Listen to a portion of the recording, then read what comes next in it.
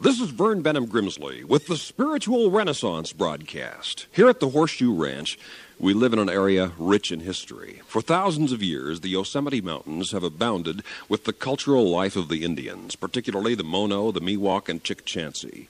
Historians have dated their artifacts back to over 4,000 years ago. Woven baskets, pelts of fur garments, fishing spears, arrowheads, axe heads, rock paintings, beadwork, and many other specimens all abound in the region. Many places in this country were campgrounds, and thousands of chips of the shiny black volcanic glass obsidian are to be found where Indian men would fashion their arrowheads and tools by chipping away at the stone with a piece of deer antler.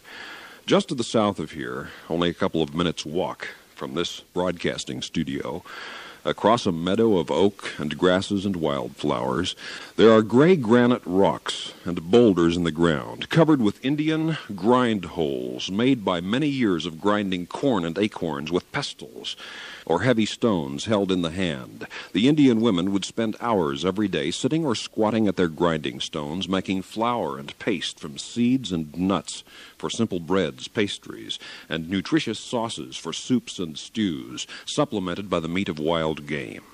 And in one of those old holes, we found the pestle, or grinding stone, still there, in its grind hole nearly 12 inches deep. An expert in Indian anthropology told me that signified that the last person to use that grind hole must have been considered a very important person, or even a holy woman, to have had her grindstone left there in the rock, for such was the Indian custom. Near sunset one afternoon, I found a couple of acorns from the surrounding trees, cracked them, and put the nut meats in the grind hole, and with that old pestle began to crush the acorns into flour, just as the Indians had for thousands of years, and of course it all still worked. But I felt a strange sense of history and continuity with my forebears on this land. For thousands of years before me, there I was, a white man using the same elementary tools the Indians had used a handheld rock and a granite grindstone, making a wonderful, nutritious nut flour in exactly the same way that the earlier Indians had, and it all still worked. These same simple tools and ingredients still worked after thousands of years. And then, suddenly, it swept across me. So exactly with the teachings of Jesus of Nazareth. So with the teachings of Jesus. They still work 2,000 years later. They're so simple, so basic, so elementary. They've been used for centuries. They worked 1,500 years ago and they still work now today. Forgive and show mercy. Overcome evil with good. Bless those that curse you. Pray for those who despitefully use you. Pray for forgiveness of your trespasses as you forgive those who trespass against you. Seek for the will of God. Apply the golden rule. Love God and love others. Such simple and fundamental truths as these have worked through the centuries, and they still work today.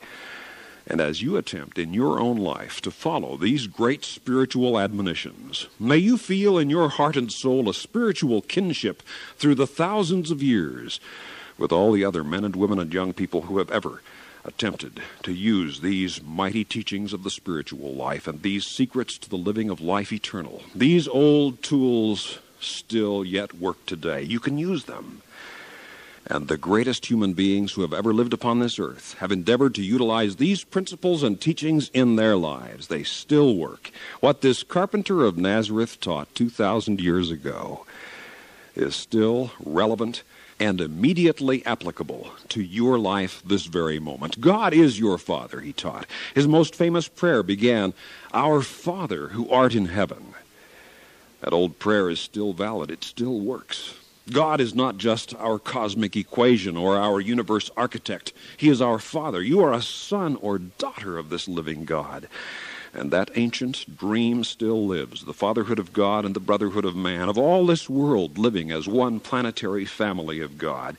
It is still relevant. It will one day change this world, and it can change your life beginning here and now if you will have it so by faith. The teachings of Christ shall never die. Through 2,000 years of human history, this Jesus of Nazareth has stood the test of time. He was so controversial in his own day that he was reviled, ridiculed, and then put to death in the most cruel and physically painful fashion that the human mind has ever conceived crucifixion. And what crime did he commit to deserve such a ghastly and violent end? He taught truth.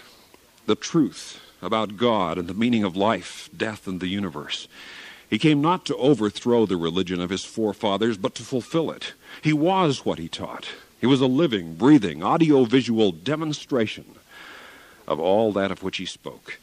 He loved people. The sickness or affliction of a passing man or woman or child evoked his immediate concern. He loved everybody. From Mary Magdalene, a prostitute, to Matthew and Zacchaeus, the hated tax collectors, to Simon, the political agitator. His healing touch restored sight to the blind and made lame men walk. His ringing and resonant voice called Lazarus from the grave and called multitudes from their living tombs of spiritual despair into the clean sunlight of godly love and joy.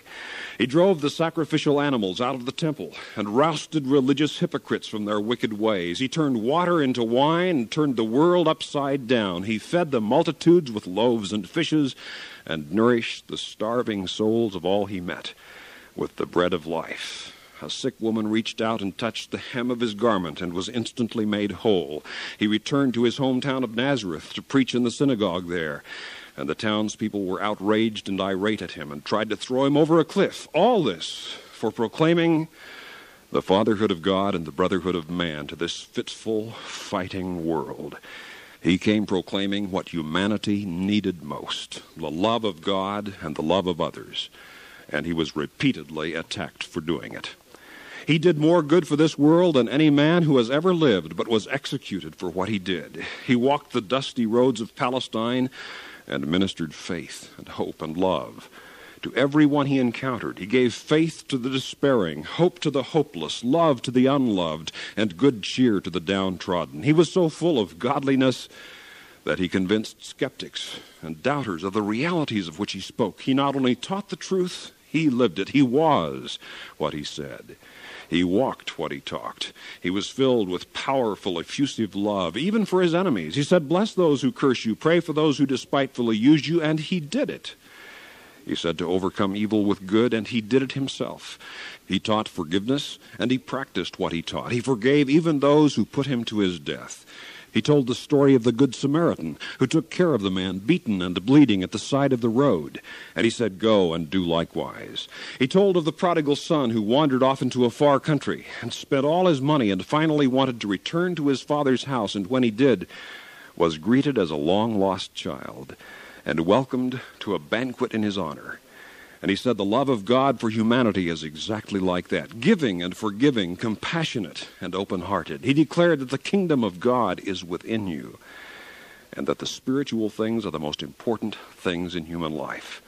For what shall it profit a man to gain the whole world, he said, but lose his own soul? He said to sow the seed of truth far and wide, and that which finds good soil will sprout up into life. He told the woman at the well, about the living waters springing up into everlasting life, and that the grave is not the end of everything, but only a beginning of life eternal.